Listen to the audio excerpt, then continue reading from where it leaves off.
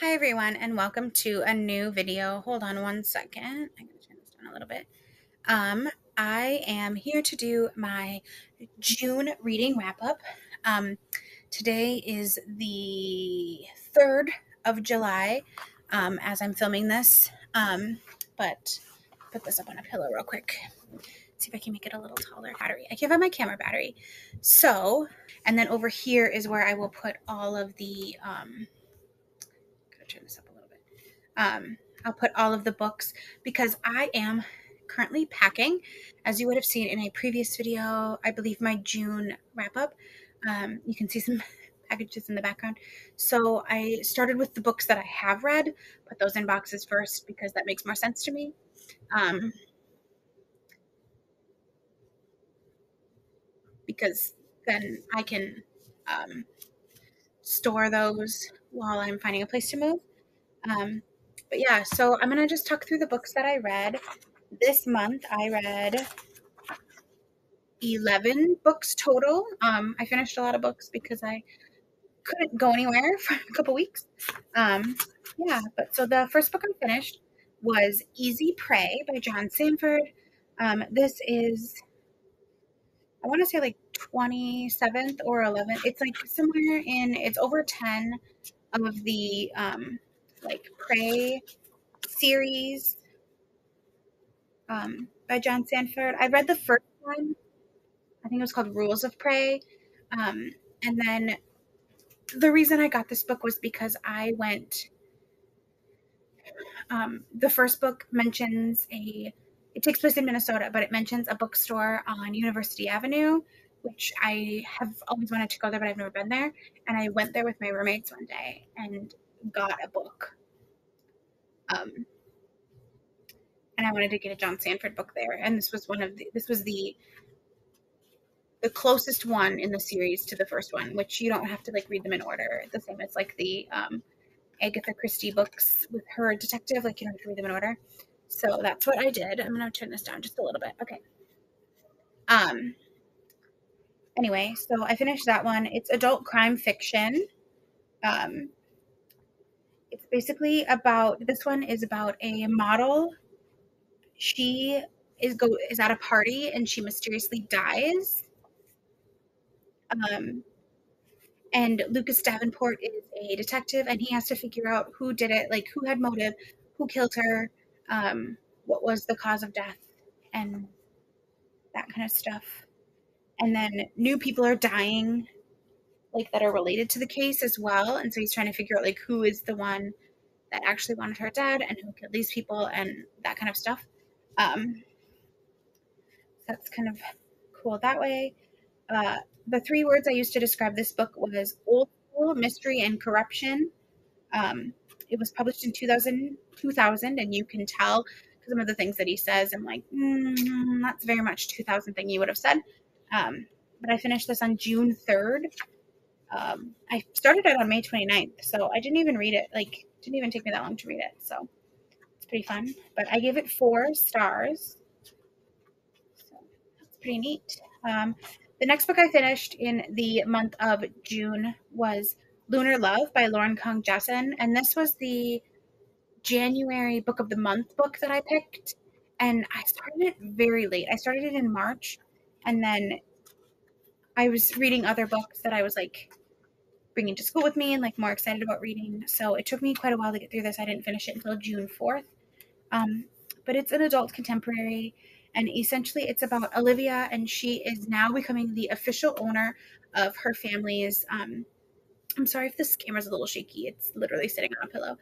Um, but she is the now the official owner of her family's um, matchmaking business and they use the Chinese zodiac to matchmake people and she discovers this she goes to like a I'm trying to think of what you would call it like a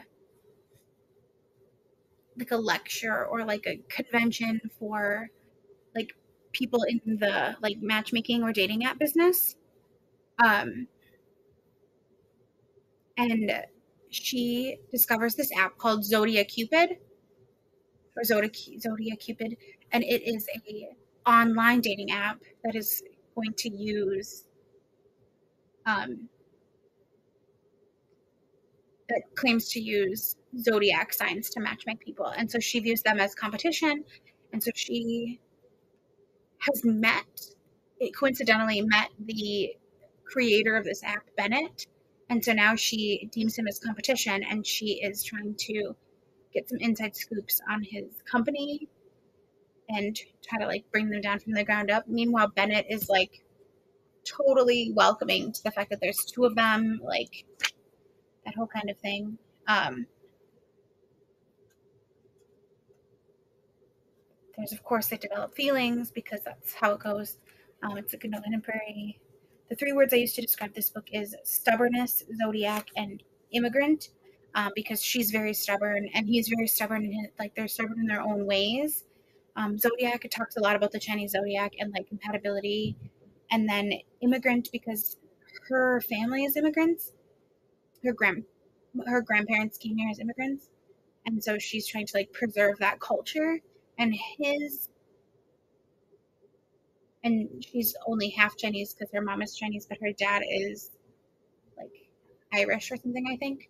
And he's also only half Chinese, but he hasn't been as acquainted to the culture. And so there's a lot of like that, like he's trying to get through to his roots sort of situation.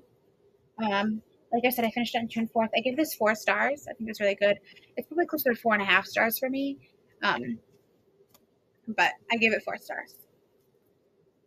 Uh, the next book I finished was Dreams Lie Beneath by Rebecca Ross. This was the November November Owl Crate from 2021.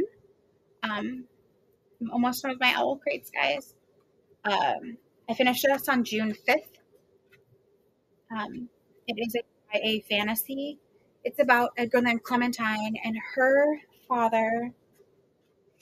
I can't remember the exact wording of like what they are, um, but basically they like live in you live in a town and you like collect people's dreams and then on the full moon or like their nightmares you write down their nightmares and then on the full moon you have to like fight their nightmares and her she's training to take over for her father and her father gets displaced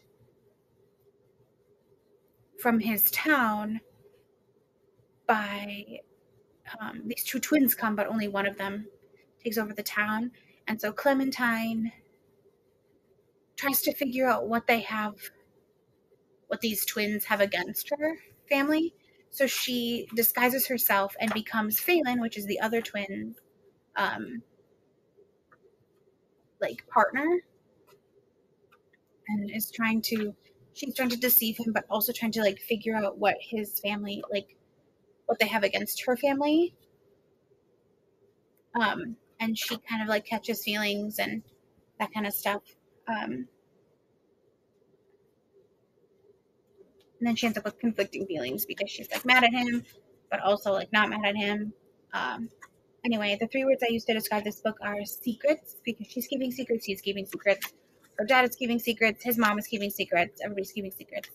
Um, mystery, there's like a mystery they have to solve of like, who is this person and what do they want? And trust, they talk a lot about trust, like, does she trust her dad? Does she trust Phelan? Does Phelan trust her? Do they trust these other people that are like trying to get them to do things? So trust is a big one. Um, this came out. Oh, the Lunar Love one came out in 2023 for a new book. Um, Lie Beneath came out in 2021, so it was new when it when I got it. So it's still pretty new, relatively new book. Um, the next book I finished in the month of June only took me four days to read, um, and that is Soulmates by Susan Lee. This is a YA contemporary. Um, this book I actually got. I ordered it from a bookstore in California that was doing a like personalized books, and so I got it signed to me. Um, I'm pretty sure I showed it in the hall where I got it because it came with like a swag pack too. But because I don't have it with me, I can't show you now. Um, but anyway, it's about um, a girl named Hannah, and she is Korean American, and her boyfriend, who is not Korean, dumps her on like their first day of summer vacation, right before their senior year. Um, and she had all these plans to spend time with him all summer. And he dumps her because she doesn't know enough about K pop and K dramas and like Korean culture. And so he feels like they don't have anything to talk about.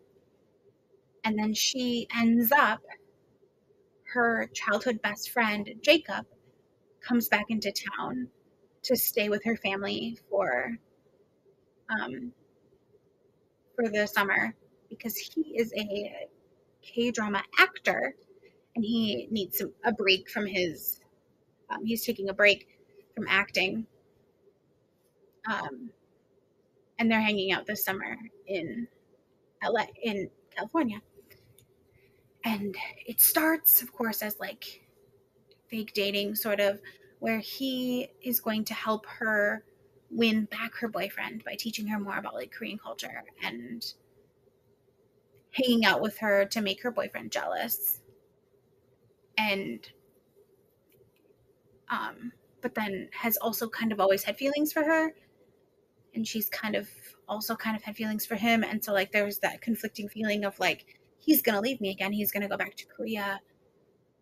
Um, describing this book in three words confusion because she's confused. He's confused about their feelings. Her ex-boyfriend is confused. There's industry drama so there's drama about like his um, what is it? Uh like his company that he works with and like what their expectations for him are versus like what his expectations for himself are. And then there's feelings. They do a lot with feelings like feelings like emo um, like relationship feelings. There's feelings about like herself and her culture and her identity feelings. Um, there's like his feelings about do I quit the industry or do I stay to like support my family feelings like that those kinds of things as well. Um, this came out in 2022. I got this right away when it came out at the end of 2022, and it I finished it from June 3rd to June 7th. I'm sorry if you can hear me laughing. Um, anyway, the next book I finished was Echo by Pam Munoz Ryan. Um, this is a middle grade book. I read it as a book club with some of my students, and it took us a really long time to get through it. I don't think any of them finished it, but I finished it. Um, we started it in January and finished it in June. Uh, it's a very large book. It came out in 2015. It's basically about there's this um, magic harmonica. So there's like the story of these three sisters, and they um, get trapped by their adopted mother, who's like a witch, into this harmonica, and they said they have to be stuck there unless they can save the lives of three people. And so then it, there's three parts to the story, and it follows three different children during World War II time. So one boy is in Germany, one is in California, and one is in New York, I think. Like they're in three different parts. And um, their like lives while they own the harmonica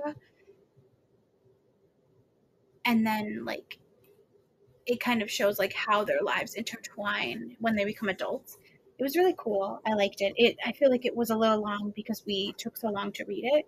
Um, but I feel like if I had like read it to them we read it together, I feel like they would have enjoyed it a little bit more.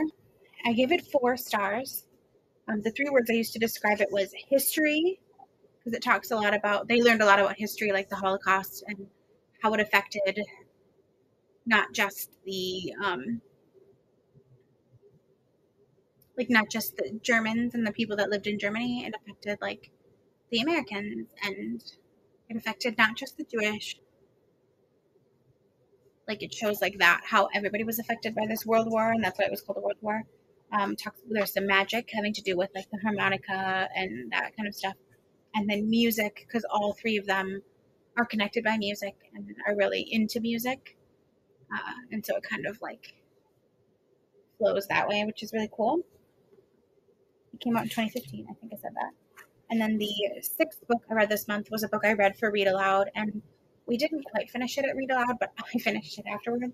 And it's Starry River of the Sky. So technically number two ish. It's written by the same author as um,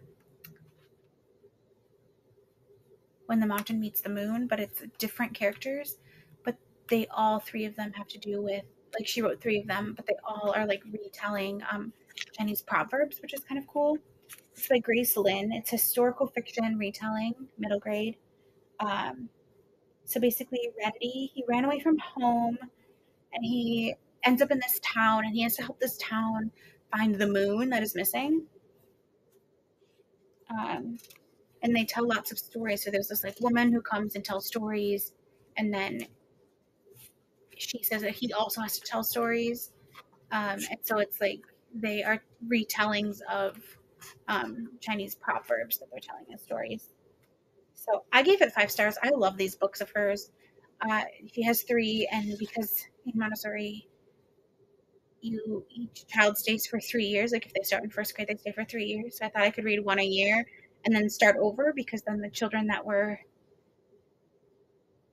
like the children that were in first grade last year will have heard all three, but the children that were in first grade this year will have only had heard two. So like, kind of interesting. Um. Anyway, we started this on June first, and I finished on June fourteenth. Came out in 2012. The three words that I use to describe it are stories because it tells a lot of stories. You learn a little bit about history of China, um, and then it's connection. So it forms a connection between um, the different characters. So they form a connection. I have five more books to tell you about, but let me stop this right here. I have five more books to share with you, so we'll go ahead and get started.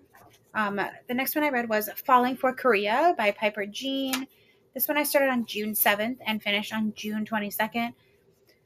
This one, um, it took me a little bit longer to finish, only because I read Soulmates over the course of like a weekend um, and falling for Korea was because I was preparing for the end of the year, and then I also fell, and so I was uh, not always in the like best place to read it, but I did finish it. It is um, a YA romance. It's published in 2022. Uh, so, but it's basically Sydney. She is not Korean, but her mom did a study abroad in Korea and met her best friend and like learned Korean. And so she would only speak Korean at home. So Sydney's fluent in Korean. Um, and she ends up one day her mom is like, Guess what? You're going to Korea. And sends her to Korea to live with her godmother, which is her mom's best friend, who is Korean. And she is rich and she goes to live with her. Um,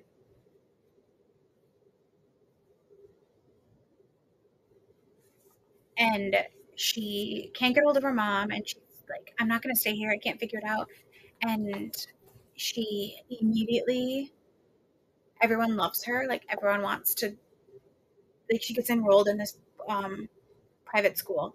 And um the girls all not all of them but like the main mean girl she hates her right right away from the get-go. And the boys all love her. And it turns out that the main mean girl, Min, has always wanted to be the girlfriend of Chol, um, who is the son of Sydney's godmother. And Sydney doesn't know who Chol is at first, but they're living in the same house, but their house is so big. And he is nice to her and like befriends her and then she realizes that Chul is her like how her host brother sort of um and they kind of develop feelings for each other but they are also city's also in danger and you find out the real reason why her mom there's a couple reasons why but her mom sent her to live um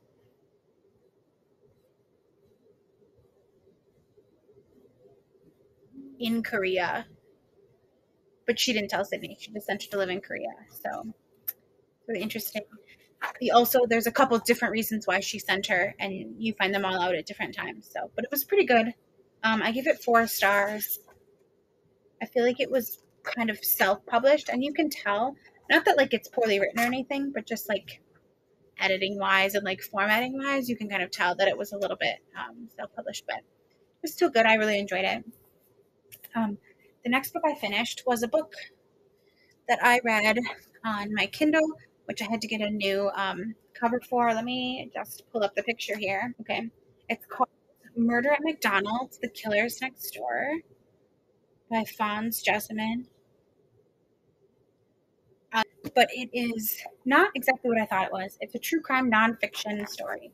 So I thought this was more like a book, like a story. Like I knew it was a real event that happened. There was a murder at McDonald's in Canada in like 1992, I believe, like the year I was born. Um, and I was thinking that the um,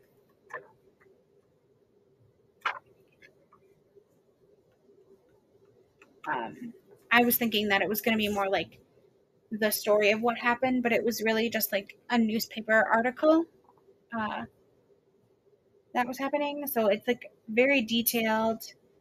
Um, essentially, there was like a murder at the McDonald's, and it was three teenage boys. One of them worked at the McDonald's, and they originally went in to rob the place and ended up killing four people and severely injuring one. Like one of them survived. I believe it was that's what happened.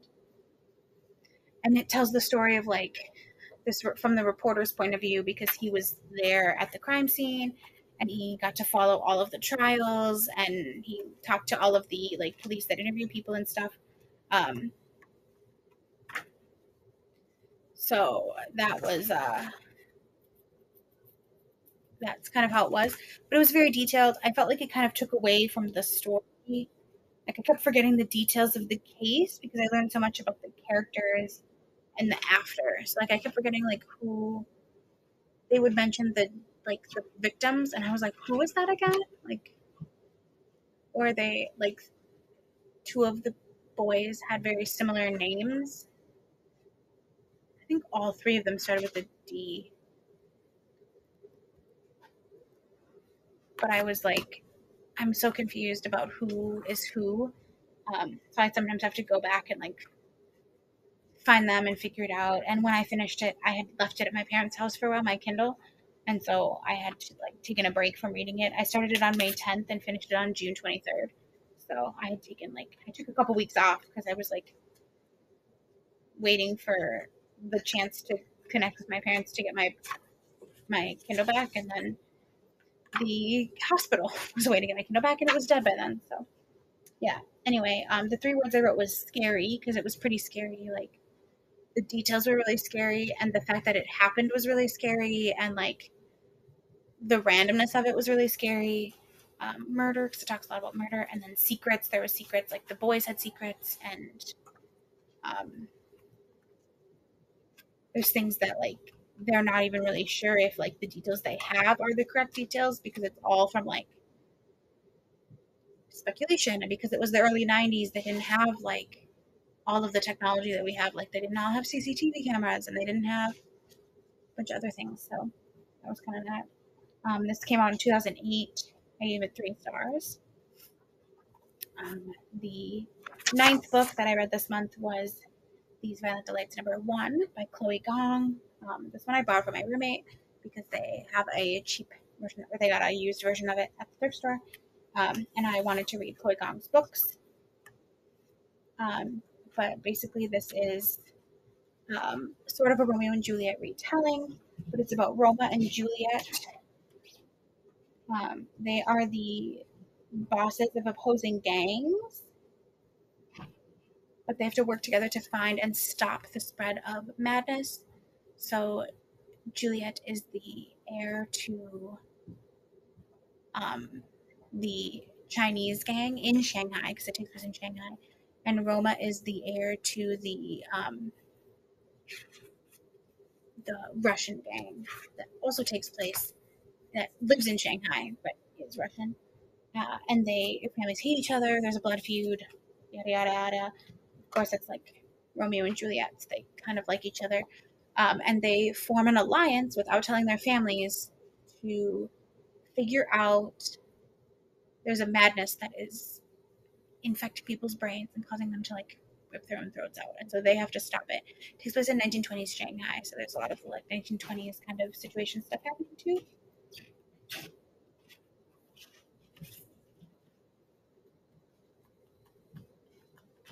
um, So I liked it. I gave it five stars.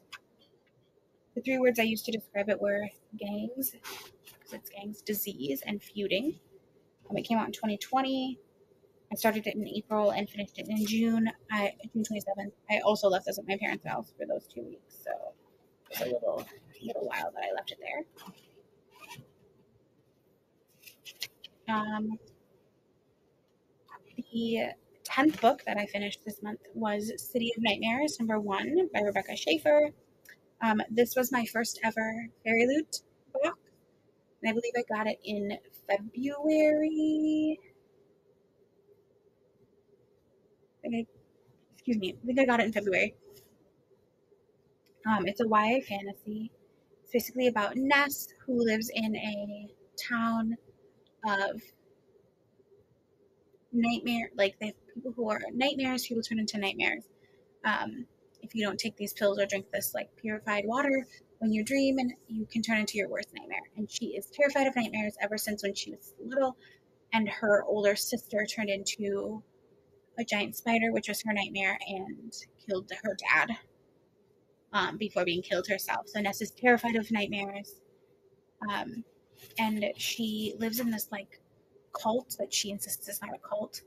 Um, and they protect her sort of um, because she has her like own room where she doesn't have to like worry about other people and like be afraid of nightmares. Um, and she goes to comfort a woman at a funeral whose um, husband died because he was a nightmare. And the woman turns into a nightmare, and Ness screws up and doesn't do it. She doesn't do what she's supposed to, like with her training, and asks for a second chance and ends up going on the boat to do mail duty on this like mail ship. And on this mail ship, she meets Sai, who is a vampire um, nightmare.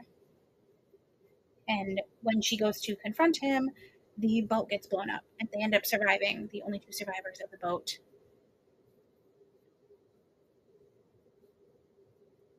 Um, scab. Anyway, um, and so she ends up kind of having to face her fears of nightmares and also figures out that like some of the things she thought were safe aren't actually safe. Um, and what does it mean to be safe? Who can you trust? Things like that. Um, so she has to come to terms with a lot of that. There is a part two. I believe it comes out soon, like August, I want to say. This book came out in 2023, so it like comes up pretty quick. But I'll have to look. But I do want to read the second one to kind of figure out what happens next. Read it from June 5th to June 29th the three words to describe this magic. There's a lot of magic because of the nightmares. Um, fear. She has to face a lot of her fears and trust. The nightmares. It talks a lot about fears anyway, and then trust. She has to figure out like who she can trust. What does it mean to trust someone? What makes a safe space or a safe person, sort of situation. Um, five stars for that one. And then the last book I finished was Skin of the Sea by Natasha Bowen. This was the December book of the month for Owlcrate 2021. Um, so I'm almost all caught up on my Owlcrates. I have one more because I only got one last year. so that's good for me, sort of, um, because I haven't been caught up since 2017. So anyway, uh, yeah. So it's by Natasha Bowen. It's a YA fantasy mythology book. Um, basically, Simi, she's a Mami Wata, which is um, an African folk tale. Uh, I believe it's a folk tale about uh, basically they're like mermaids, but they're Mami Wata. Um, and her job as a Mami Wata is she was she was turned into a Mami Wata by the like goddess of the ocean, and her job as a Mami Wata is to release the souls of the dying because there's a lot of slave ships are leaving, and so they people are being thrown from the slave ships or jumping off the slave ships to get away. Um, so a lot of people are dying in the ocean, and so she's supposed to take their souls and offer them up to the Creator God, um, to kind of bless their souls. Well, she finds a boy in the water who is still alive. He is not quite dead. Um, And so her job is to, she saves him and he figures out who she is. And then she gets sent on a mission to find these two rings that she can use to summon the creator god and ask for forgiveness because she broke their like oath. She didn't do what they were like. That's their only role is to release the spirits, and she saved someone, which was not part of their role. So she's supposed to go ask for forgiveness. Um, and she is warned that if um, if she falls in love with this human, she'll turn into sea foam and they won't be able to be together. So she's like dealing with that struggle the whole time. Um, there is a part two to this. There's a second book. Um, I do want to buy it. Um, so I'll have to go see if I can go to that bookstore to a bookstore this summer. Um, I give it five stars. Uh, I read it from June 5th to June 29th. Also, um, it came out in 2021. The this book in three words mythology because it's African mythology, so there's a lot of like gods and goddesses, African gods and goddesses. Um, secrets. She has secrets. Kola has secrets. Kola's the boy she saved. Um, other people that they interact with have secrets. And danger, because she's constantly in danger. So that's fun. Um, it's really action packed, but like it's really cool. And then um, my monthly wrap up now, I'm going to share with you. Um, I read 11 books this month. Uh, top read of the month was Soulmates. I really liked Soulmates a lot. My new favorite character is Simi from Skin um, Skin of the Sea. Um, new to me authors, they were all new to me except for John Sandford and Grace Lim or Lin. Lim or Lin? Lin, Grace Lin, because I've read Grace Lin's books before and I've read John Sandford before, but all the other authors I'd never read before. So that was fun. Um, and then pages read, I read 4,763 pages, so that's a lot of pages. Um, a notable quote that I have is this is part of a quote, and then I'll read the whole quote, but it's from Lunar Love on page 307. It says, Maybe there's beauty in opening yourself up to the love you don't expect. And so the whole quote is Maybe there's beauty in opening yourself up to the love you don't expect and the traits that will keep you guessing. Because compatible or incompatible, we we're all just trying to love and be loved, however that might look. So that's really fun. Um, the order of the books that I finished this month. Um, my number one book was Soulmates. Number two was City of Nightmares. Three was Skin of the Sea. Four was These Violent Delights. Five was Star River of the Sky. Um, six was Falling for Korea. Seven was Lunar Love. Eight was Dreams Lie Beneath. Nine was Easy Prey. 10 was Echo, and 11 was Murder at McDonald's. Um, yeah, so those are the ones I'm reading. Currently, right now, I'm reading um, another book on my Kindle. I'm reading six books right now.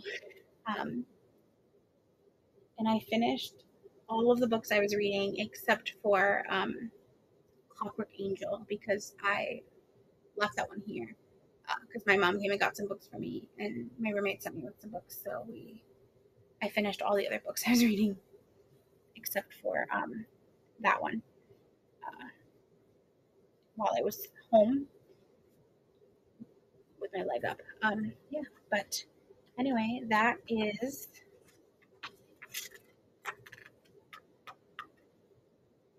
Um, all the books I read in the month of June. Make sure to like this video if you enjoyed it. Comment down below what your favorite book was that you read in the month of June.